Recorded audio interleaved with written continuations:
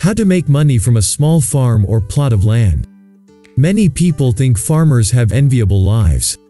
If you're a farmer, however, you may think otherwise. You work non-stop for very little money. Sometimes you feel like a prisoner to your buyers, and occasionally you wonder how much longer you can keep going. The weather seems to be against you, and you feel like you are working for nothing.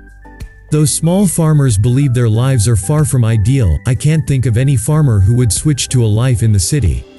So how do you get the best of both worlds? How can you maximize profit from your land, small farm or homestead? You don't have to stop at growing crops. Through diversification and thinking like an entrepreneur, you can achieve a much higher yield from your farm while keeping the lifestyle you love.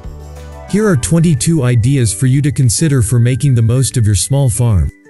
Of course, some of these ideas will be more practical than others depending on your region, type of farm, etc. There are also restrictions, both federal and state, that need to be looked into before beginning some of these activities. That said, farmers are a determined breed. With a bit of planning, you can turn your farm into a money maker and begin enjoying life on your homestead once again. You are no longer just a farmer, you are an entrepreneur. 1. Grow gourmet and medicinal mushrooms. Growing mushrooms can be very lucrative. However, I recommend that you opt for specialist types of mushrooms if you're looking into cultivation. There is more money to be made from growing ones for medicinal use or the restaurant market. Trying to compete with the supermarket on button mushrooms wouldn't be an option unless your pricing or quality is better. Depending on the type of mushroom you choose to grow, you could harvest some in just 15 weeks with a yield of up to 4 pounds per square foot. Other tips Prior to harvest, contact local restaurants and take orders from them for a quick sale. Get a stall at a farmer's market to grow your reach and your sales. Educate yourself on the best practices for mushroom growing. Check local, state, and federal laws if you plan to sell it as a medicinal or health supplement. Growing gourmet and medicinal mushrooms Growing gourmet and medicinal mushrooms If your knowledge of mushrooms is only eating them on a pizza, this is an interesting and comprehensive look into the field of mushroom cultivation. This is my go-to book for anything that has to do with growing mushrooms. It is packed with information that will help a novice, and it will also answer questions of more experienced growers. This book is targeted at those who wish to grow mushrooms for commercial reasons, even on a small scale. The author Paul Stamets, a mycologist with over 20 years of experience, has many books, awards, and patents, and is considered the leading authority in the US on mycology. 2. Turn your field into a campsite. Open a campsite. Especially if you live close to an urban area, people are always looking to find their next great outdoor vacation or just to escape the city limits for a change scenery and to reconnect with nature. To turn your land, or part of it, into a campsite, you'll need to construct a simple shower and toilet unit for your campers. Check with your local authorities for advice on using the main sewage and drains or if necessary install a septic tank. Some campsites are quite basic and don't provide electrical outlets while others have installed electricity for the campers to use. If your farm is near a tourist area, this is definitely one avenue to consider. The area or field you choose should also be level and dry, ensuring that campers can correctly and safely erect their tents. You can start small and put any profits into improving the facilities of your campsite. By reinvesting your earnings you will be creating a sustainable business without an initial expensive outlay. Other tips. Depending on your area, you could also have designated spots for motor homes and caravans. For these, you'll need to supply electricity and water. Consider opening a small shop with essential food items and toiletries if you aren't close to a town. Campers who don't want to travel back into town will be happy to buy from you even if your prices are slightly higher than in a supermarket. Many people, especially retired couples, live in RVs permanently. They will often spend a few weeks at a campsite if they like it. Offer free Wi-Fi for your campers. Everyone expects to remain connected to the internet 24-7, even when they're camping. The access code can be changed weekly to keep those who aren't camping from using it. If you are going to allow campers to bring dogs, have an area fenced off as a dog latrine. No one wants to step in dog mess. This will keep dog owners and non-dog owners happy. Start a website or blog advertising your campsite. Ask your customers who visit to post their pictures on social media channels. Word of mouth advertising is free and often the best kind. 3. Farm snails for profit. It is easy to think of snails only as pests, but they can earn you great money. Snail farming or helicoculture has been around for many years. In some developing nations, it is becoming an important export crop. To farm snails, you'll need to provide them with shelter, plants, and food. This can vary depending on your situation. Some farmers use outdoor pens which are open, others use netting to keep them in. I have also seen them grown commercially in polytunnels. Below you can see a video of a woman who started small and has now built it into a profitable venture in Africa. As she says snails are the ideal livestock to have as they don't smell or make noise. Before investing in structures to house them, start small and develop a market for them. Then, if you see the demand growing, expand by increasing the available housing for them. 4. Organize a swap meet. If you have a field that's being left fallow, consider using it on the weekend for a large swap meet. People love to wander around a field to see what kind of bargains they can find. Charge the vendors a small fee, maybe $7 per car and $15 per truck depending on your area and demand. If you stick with it, this could develop into a profitable weekend venture that can be moved to a different field each season. Depending on where you live, you could even have the swap meet year-round. Ensure you have an area for parking off-road for those looking to buy. Signs on the street and even an ad in the newspaper will bring people flocking to your field for potential bargains. Once your swap meet car boot sale in the UK gets known, advertising won't be necessary as your client base expands. This requires very little investment but needs organizing to get vendors. 5. Start a bed and breakfast. If you have spare rooms or a barn that can be converted into rooms, consider opening a bed and breakfast. This is one of the most popular ways to earn more money from your farm.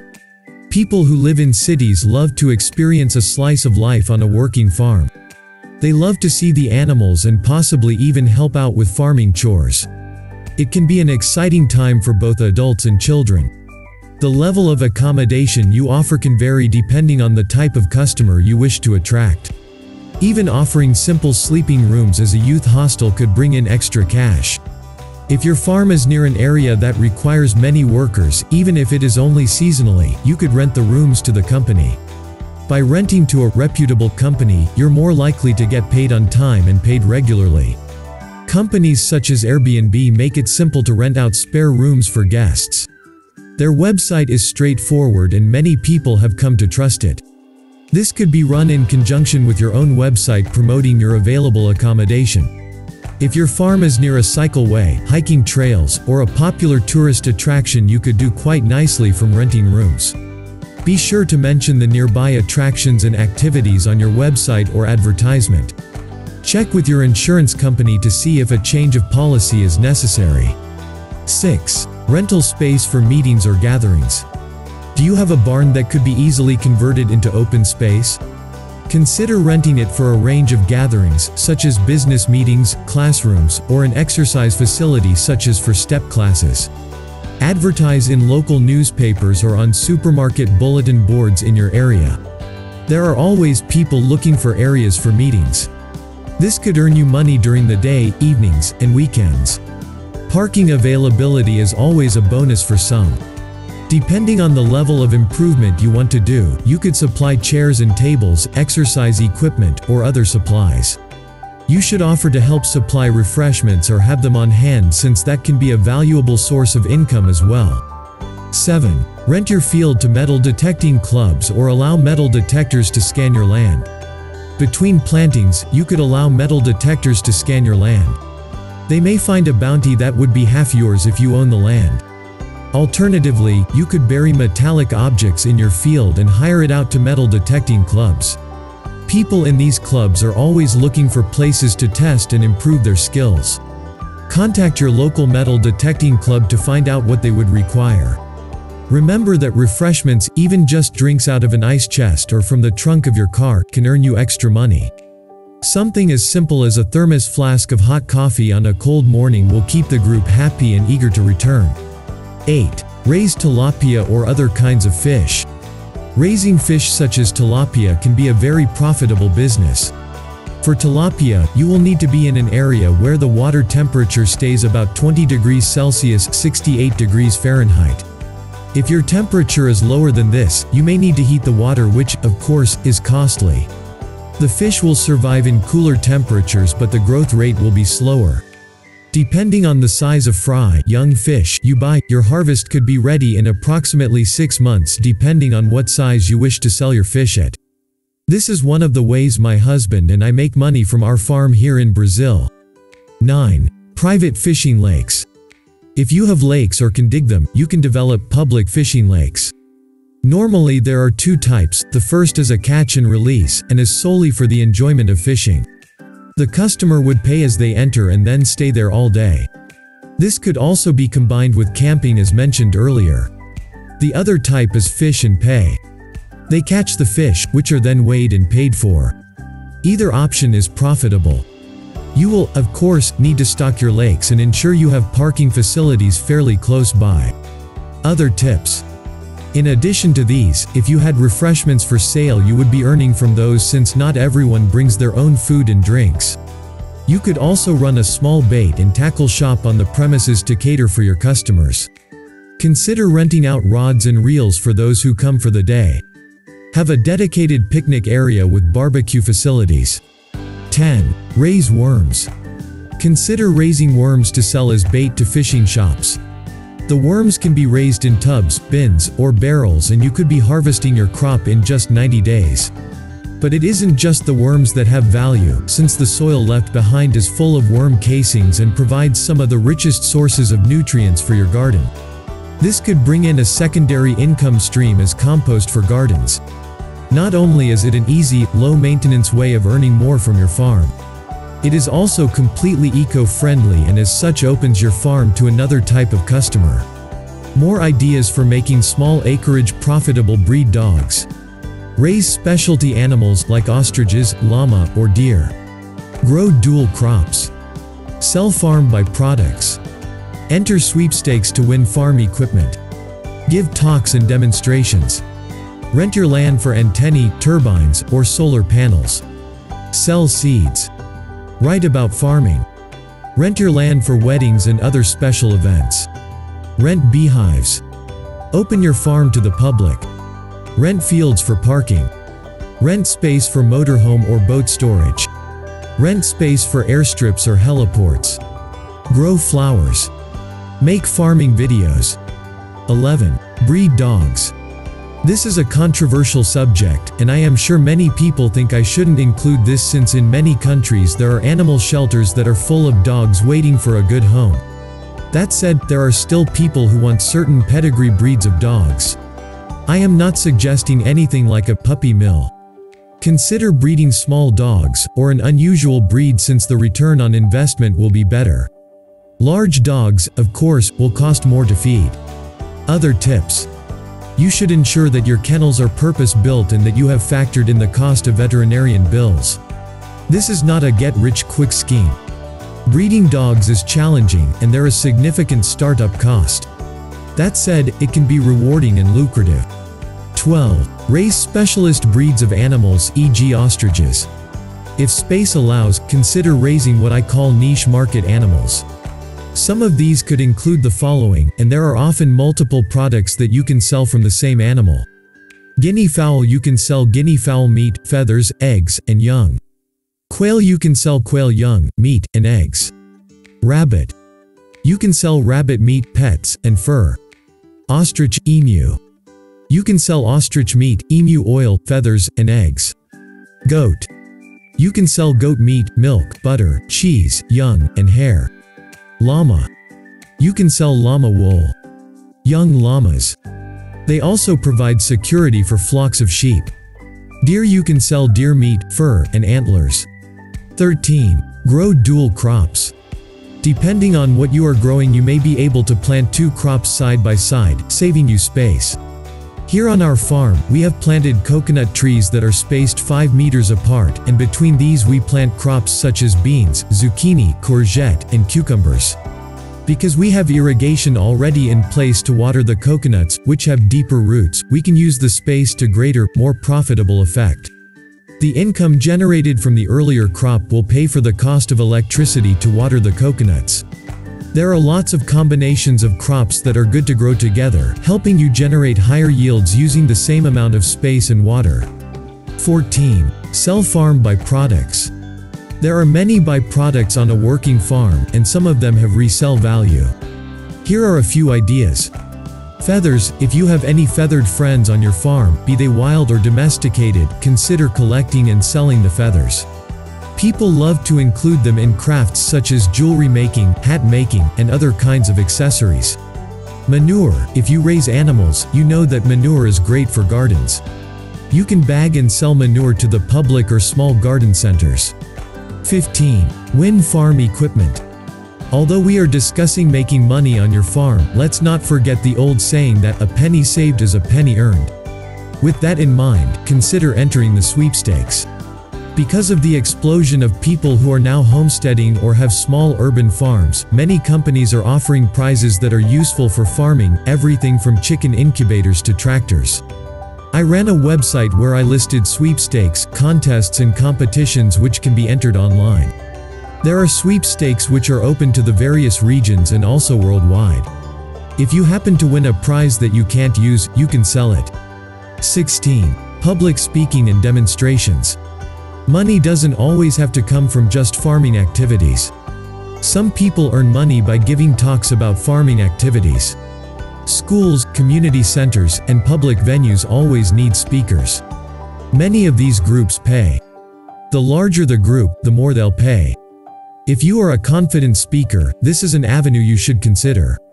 Topics such as beekeeping, growing vegetables or flowers, natural pest control, organizing a farmer's market, homemade ice cream, jam making. This is just a selection of topics you could speak about. These talks can be at your farm or you may need to travel to their venue. You don't have to be an expert, but you do need to be entertaining, informed and passionate about your topic. Some of these topics can be demonstrated and others would require a series of slides and videos. There are many groups who require speakers, it is necessary to contact business owners, your chamber of commerce and even your local library. Begin networking and if you don't feel confident, start with small groups and speak for free until you become accustomed to the limelight. Once you begin to get feedback and you know your subject matter backwards, you are ready to charge money for your talks. 17. Rent your land for an antenna, turbines, or solar panels. Cellular antennas. Is your land at a high point? This could potentially bring you the bonus income you were looking for. Consider contacting cellular phone or internet companies to determine if an antenna could be placed on your property. Though they pay handsomely, you may be concerned about the potential cancer-causing problems. Do some research and find out what areas would be considered safe. Wind turbines. Are you in a windy area? Are there turbines already nearby? You could also see about getting a wind turbine. A farm near us has sand dunes which aren't suitable for growing anything, but he now has a few Korean-owned wind turbines on them and is raking in a small fortune for doing nothing. We also know of farmers in the UK who have these in their fields.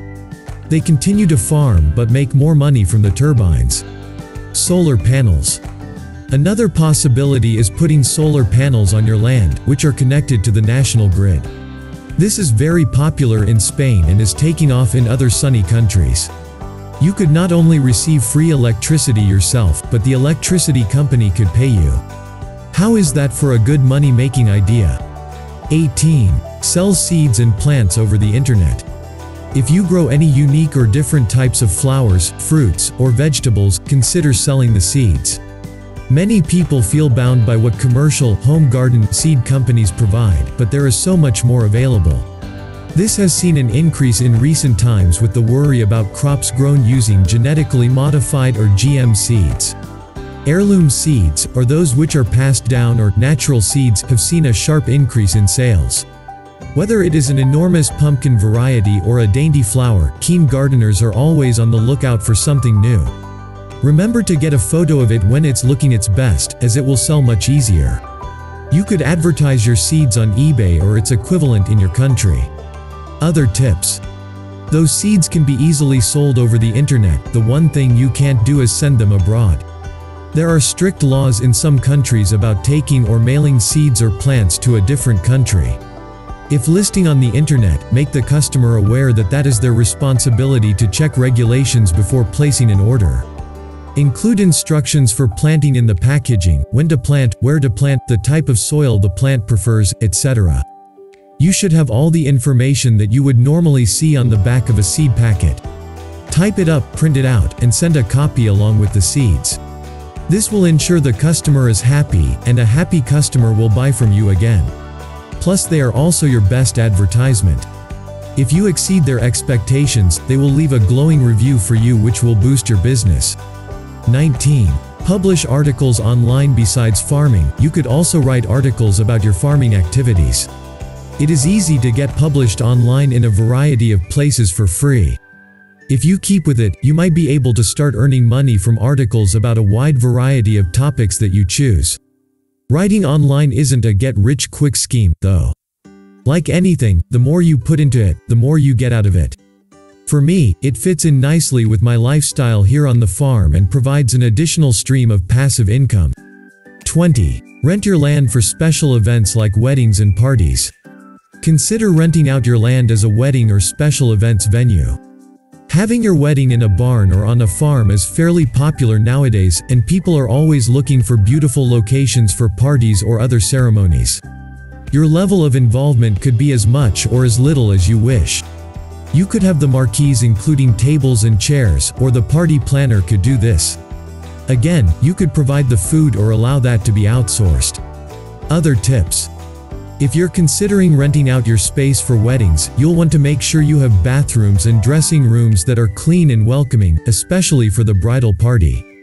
Depending on where you live, it might be fun to rent out your barn for a Thanksgiving or Christmas feast. 21. Rent out beehives. Bees are currently in demand, not only for their honey but also for their ability to pollinate. There has been a dramatic decline in the bee population due to colony collapse disorder CCD. It's unclear why it's happening, and there are many theories about the source, but the bottom line is that the demand is great for these little miracles of nature. If you have hives and can take them to fields for pollination, you can expect to earn $136 for each hive you provide. This is based on figures provided by the article Beeconomics and the Leap in Pollination Fees UC Davis.